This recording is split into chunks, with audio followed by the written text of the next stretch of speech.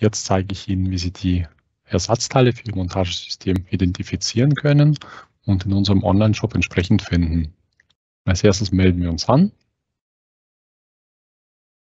Und hier finden Sie eine Verknüpfung zu unserem Trainingsportal. Auf Ihrem Montagesystem finden Sie einen Aufkleber mit einem QR-Code und Sie kommen auch direkt zu unserem Trainingsportal, wenn Sie den Code scannen.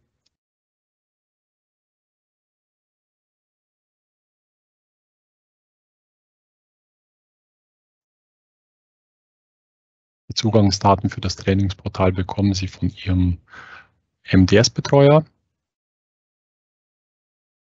Und hier sehen Sie Produktdokumentationen zu Ihrem Montagesystem. Hier können Sie sich die E-Learnings anschauen und beispielsweise das Betriebshandbuch. Und unter auftragsspezifischen Dokumenten finden Sie die Ersatz- und Verschleißteillisten. Hier haben wir auch die Baugruppenübersicht. Da sehen Sie die zugehörige Zeichnungsnummer oder die Artikelnummer. Diese können Sie verwenden, um das Bauteil in unserem Online-Shop zu finden. Hier haben Sie die Führungseinheit.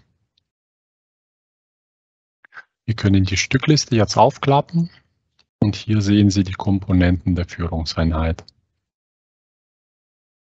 Diese sehen Sie auch hier weiter unten in der Ersatzteilliste. Da ist die Führungseinheit und hier die Komponenten. Wir können beispielsweise einen Artikel kopieren, nach diesem Artikel suchen und hier finden Sie diesen Artikel. Den können Sie entsprechend in den Warenkorb legen und mit Ihrer Bestellung fortfahren.